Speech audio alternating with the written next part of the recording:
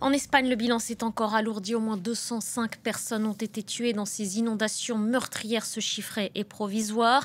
Une large partie de la région de Valence a été submergée par les eaux. Les recherches se poursuivent. Des dizaines et des dizaines de personnes sont portées disparues selon les autorités. On retrouve tout de suite Colline David, envoyé spécial de France 24 à Catarrola dans la région de Valence. Bonjour à vous, Colline. Merci d'être en direct avec nous. Quelle est la situation sur place? Qu'avez-vous vu et constaté en vous rendant à Catarrola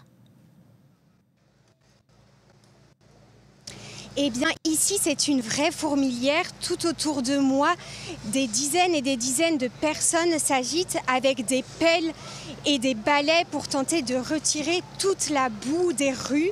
Les carcasses de voitures s'entassent les unes sur les autres, rendant très difficile le passage des véhicules. Et la recherche des disparus se poursuit.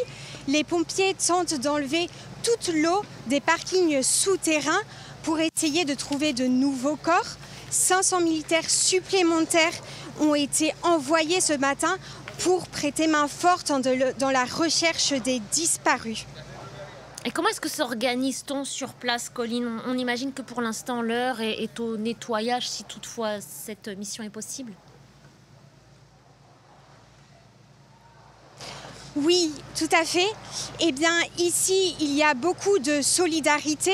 Sur la route, nous avons vu de nombreuses personnes marcher à pied pour venir prêter main forte aux habitants des communes sinistrées. Beaucoup viennent de Valence.